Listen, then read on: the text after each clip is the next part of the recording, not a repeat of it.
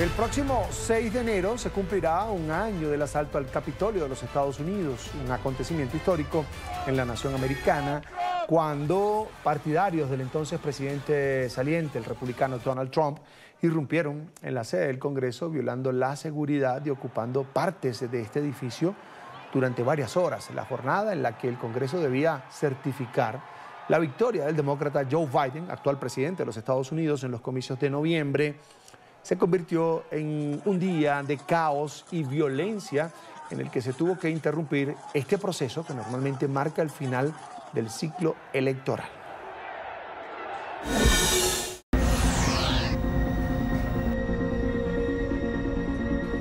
Debió ser el día más sencillo de la transición presidencial en Estados Unidos con la certificación de la victoria del demócrata Joe Biden por parte del Congreso. En lugar de ello, el mundo observó como una turba de partidarios de Donald Trump irrumpió en el Capitolio de Estados Unidos en un intento de impedir la certificación de Biden. El entonces mandatario clamaba que el proceso electoral había sido fraudulento, encendiendo los ánimos de partidarios y grupos de extrema derecha que le apoyaban. A pesar de sus reclamos, nunca aportó pruebas a la investigación.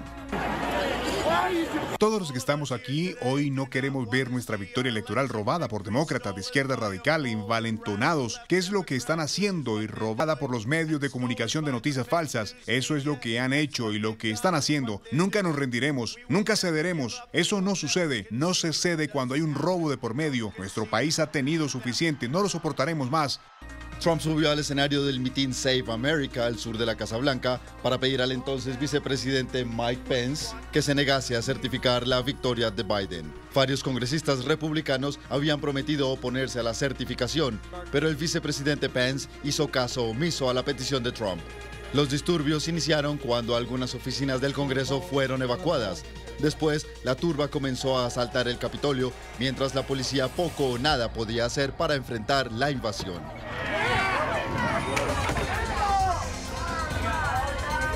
En este momento nuestra democracia está bajo un asalto sin precedentes, a diferencia de todo lo que hemos visto en los tiempos modernos. Aparecieron fotos de la policía del Capitolio con las armas desenfundadas, mientras los legisladores veían a los manifestantes romper las ventanas. Minutos después surgieron informes de una persona herida. La víctima, una veterana y partidaria de Trump, fue herida de bala por la policía al intentar ingresar a la sala donde estaban los legisladores y murió horas después. El presidente electo Joe Biden exigió por televisión a Trump que condenase lo que llamó una insurrección. Amenazando la seguridad de los funcionarios elegidos. No es una protesta, es una insurrección. Trump hizo caso omiso y se limitó a pedir a los manifestantes vía Twitter que no enfrentasen a los policías. Mientras esto sucedía, la turba paseó por los pasillos del Capitolio, saqueando oficinas de congresistas y tomándose fotos mientras robaban lo que encontraban. Trump se limitó a pedir que se retiraran del lugar sin condenar las acciones de sus partidarios. Así que vayan a casa, los queremos, son muy especiales. Facebook y Twitter limitaron y eliminaron tanto las publicaciones de Trump como las de sus seguidores que avivaban la violencia. La policía antidisturbios, respaldada por la Guardia Nacional, hizo retroceder a la multitud con gases lacrimógenos. Entre tanto, Muriel Bowser, alcaldesa de Washington, declaró toque de queda a las 6 de la tarde. Las fuerzas de seguridad declararon que el Capitolio era seguro cuatro horas después de ser atacado por primera vez en su historia. Sin embargo, no puede disuadirnos de nuestra responsabilidad de validar la elección de Joe Biden y Kamala Harris. Después de las 8 de la noche, los legisladores certificaron a Joseph Robinette Biden Jr. como el presidente número 46 de Estados Unidos y a Kamala Debbie Harris como vicepresidenta. Quiero saludar a esta hora en Nueva York a Robert Valencia, analista político. Ahí está en pantalla. Bienvenido, como siempre, a la mañana de NTN 24. Robert, un buen día. Gracias por atendernos. Muchísimas gracias nuevamente. Es un placer estar con ustedes y feliz año. Eh, igualmente, feliz año para ti, Robert, para toda la familia, por supuesto. Eh, comienzo por aquí. Es un episodio mm, superado ya para los estadounidenses. Hablo de la ciudadanía y también de los políticos, esto que se vivió hace mm, casi un año, va a ser el 6 de enero cuando se cumpla un año de esta toma, este asalto del Capitolio. ¿Es un episodio que se superó o no? Bueno, Eh, si nos remitimos a las encuestas, eh, dependiendo a quién se le pregunte, a quién, superó este momento fatídico en la historia contemporánea de los Estados Unidos. Una encuesta realizada por Morning Consult encontró que uno de cada tres estadounidenses apoya la violencia en contra de un gobierno y una gran mayoría republicana en Estados Unidos considera que lo que ocurrió el, el, 6 de enero eh, fue un acto legítimo y que Donald Trump es el legítimo presidente. Es decir, si preguntamos a un sector de la, de la población si este fue un episodio que ya pasó, pues obviamente los estadounidenses eh, van a decir que sí, o por lo menos un sector estadounidense va a decir que sí, y existe la tentación de olvidar este momento, dadas las, las eh, circunstancias actuales, y hablo específicamente de la economía, obviamente la inflación está por las nubes, eh, también estamos hablando del, tema del coronavirus, esta nueva variante que sigue eh, inundando las salas eh, de los hospitales, muchas cosas que agobian a la población y que prefieren olvidar lo que ocurrió el, el 6 de enero. Pero ahí está el peligro de, las, de la situación, que es el olvidar un hecho que todavía sigue siendo latente. Lo que pasa es que nosotros nos, dejamos guiar por los hechos violentos que indudablemente no se puede olvidar, pero el ataque a la democracia todavía continúa y, y en una manera más discreta, si se quiere decir de esa manera, porque más de 40 estados en la actualidad o han aprobado o están por aprobar leyes que precisamente impedirán que muchos estadounidenses en el futuro eh, voten o en el sentido de que su elección, su, eh, su candidato preferido, la elección que ellos eh, dieron a, través de las urnas, sea cambiado por eh, los poderosos, por las personas que manejan los hilos gubernamentales a nivel estatal. Es decir, lo que ocurrió el 6 de enero está tomando fruto a nivel estatal con muchas legislaciones de muchas cámaras y muchos senados controlados por los republicanos a nivel estatal. Entonces, es el peligro de olvidar lo que ocurrió el 6 de enero porque indudablemente la democracia, aunque eh, digamos no sea eh, visto, como, se, como vuelvo a mencionar, de manera violenta, que fue lo que ocurrió el 6 de enero, una, un acto óptico, un acto visual, el ataque a la democracia, y quiero ser enfático en esto, la democracia sigue en peligro en Estados Unidos, que en mi opinión no es ni siquiera diferente de lo que ha ocurrido en Nicaragua y lo que ha ocurrido en Venezuela. Y esa es la verdad. Robert, no sé, ayúdame a aclarar esto. Es decir, en el ejercicio de la política por parte de quienes están en el poder, bien sea en gobernaciones o en eh, senados o legislativos regionales, ¿el Partido Republicano está atentando contra la democracia? ¿Es lo que quieres decir? Eh, es, es claro y conciso lo que estoy diciendo.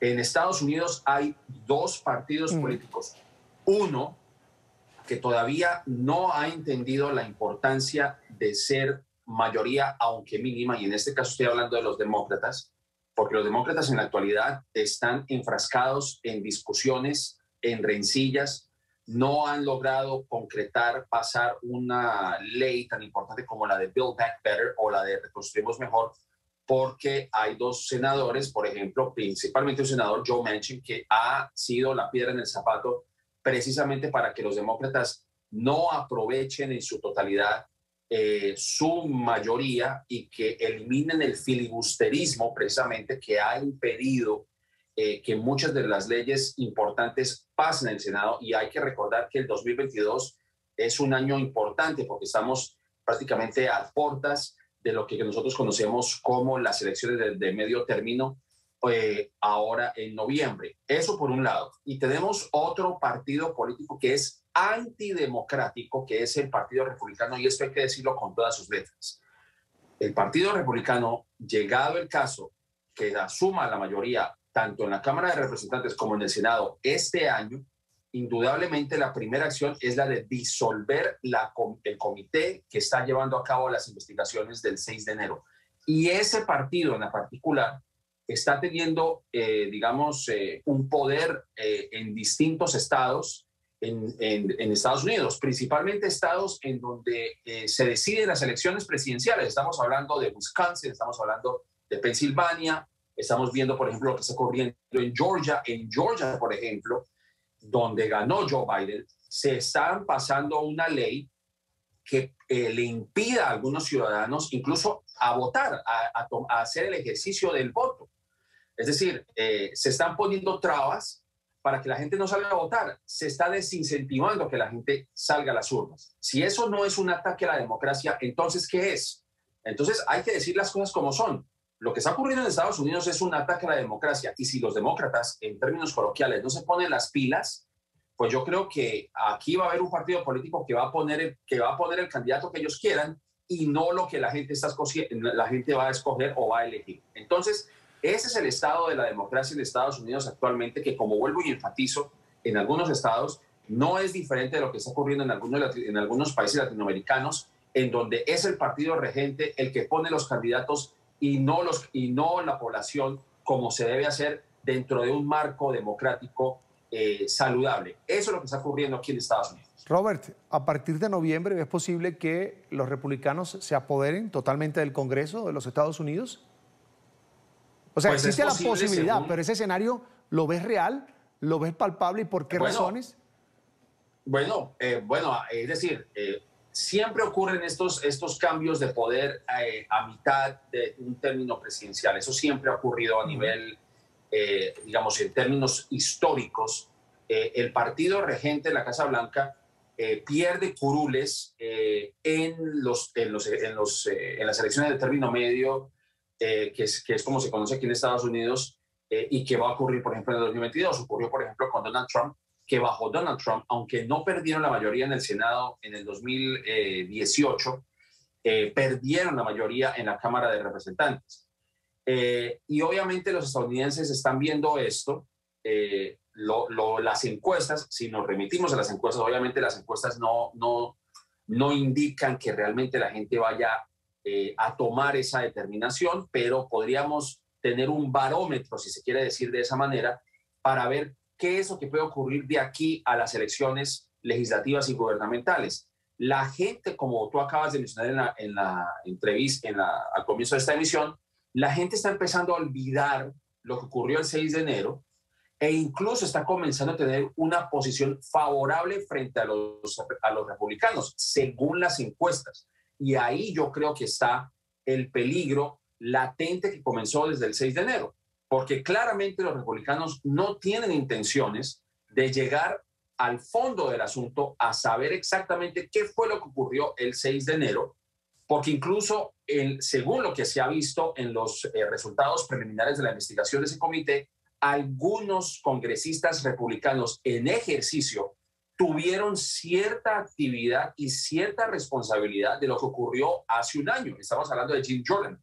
No se sabe si de manera sustancial, pero sí hubo una participación de algunos, eh, de algunos congresistas en la toma del Capitolio del 6 de enero del año pasado. Entonces, como vuelvo y enfatizo, hay un partido que no está comprometido en buscar toda la verdad, que todavía sigue aferrado a Donald Trump, que posiblemente se lance nuevamente a la presidencia en el 2024 y que posiblemente eh, alcance una mayoría tanto en el Senado como en la Cámara de Representantes. Y de ser así, lo que nosotros conocemos como el comité del 6 de enero se va a disolver, porque hay una mínima participación republicana en este comité. Estoy hablando precisamente de Liz Cheney, que es la persona que está dentro de ese comité y que ha sido una voz eh, opositora republicana frente a Donald Trump. Así que hay un partido que no está comprometido en buscar la verdad, que no está comprometido en eh, defender los pilares de la democracia estadounidense y que quiere instalar a sus gobernantes a como de lugar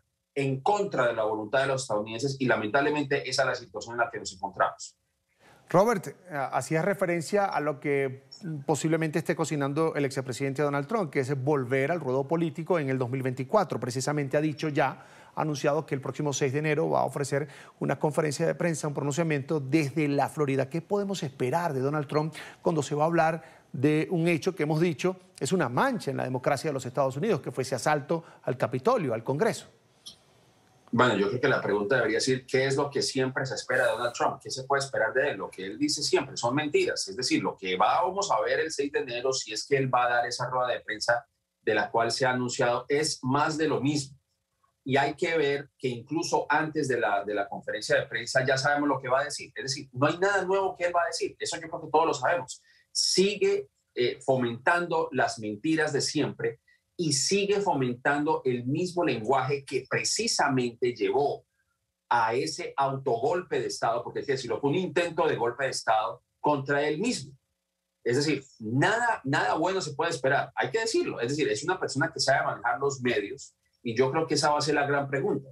Si los medios de comunicación le van a dar la plataforma que le dieron precisamente a Donald Trump para llevar a cabo este ataque, porque lamentablemente eh, da la impresión de que los medios de comunicación lo extrañan por ser un hombre eh, que genera rating y que genera escándalos y que ve la política como un acto de entretenimiento cuando es todo lo contrario. Y vemos las consecuencias precisamente de actos como el 6 de enero y más allá que han erosionado la, democracia aquí en Estados Unidos. Nada bueno se puede esperar, va a ser más de lo mismo, porque él sigue utilizando, no por medio de Twitter, porque obviamente ya no está en Twitter, y de alguna manera algunos medios de comunicación, como en el caso de Fox News, que le siguen dando la plataforma para volver a decir los que siempre ha dicho, porque hasta la fecha no reconoce la derrota en las urnas. Sigue diciendo que en Georgia, que en Pensilvania, que en Wisconsin hubo votos eh, que no pertenecen a algunos ciudadanos, eh, sigue hablando de que hubo un fraude cuando sabemos que no lo hubo, pero sin embargo es el favorito de algunos, eh, de, una gran mayoría republicana, no solamente dentro de la base de votantes, sino de algunos legisladores que parece que todavía están a la expectativa de que él vuelva a lanzarse a la presidencia esa rueda de prensa va a ser más de lo mismo y yo creo que ahí está el peligro y por eso yo vuelvo a enfatizar en la responsabilidad de los medios de comunicación. Porque si se le da la plataforma que ya no tiene, pero se la siguen brindando, entonces esas mismas mentiras, esa misma falacia que llevó a los ataques del 6 de enero, puede volver a fomentar ese mismo grado de violencia en este año o en años venideros. Por eso hablo de, la, de lo frágil de la democracia en Estados Unidos porque siempre vemos a Estados Unidos como el pilar de la libertad y del primer mundo y, que es el, digamos, como se diría, el, eh, el, refugio de muchas personas que escapan de, dictaduras y que es visto como, como una Dalí del, del mundo libre, pero la democracia actualmente en Estados Unidos está en un estado crítico. Así que yo creo que es la responsabilidad de todos nosotros o de dejar de prestar atención a lo que, lo que, a lo que diga Donald Trump y realmente enfocarnos en lo que importa, que es el de garantizar un derecho tan fundamental como es el sufragio universal aquí en Estados Unidos. En pantalla, Robert Valencia, analista político. Como siempre es un gusto escuchar su análisis aquí en la mañana de NTN 24. Robert, será hasta la próxima. Un buen día, una buena mañana para ti. Igualmente, muchísimas gracias. Hasta luego. Fuerte abrazo, fuerte abrazo.